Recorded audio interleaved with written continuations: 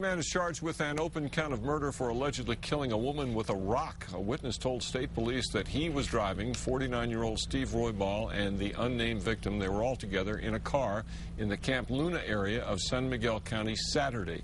He says that Roybal and the woman got into an argument. They stopped. Roybal hit her on the head, then dumped the body in the woods. Roybal remains jailed in Las Vegas.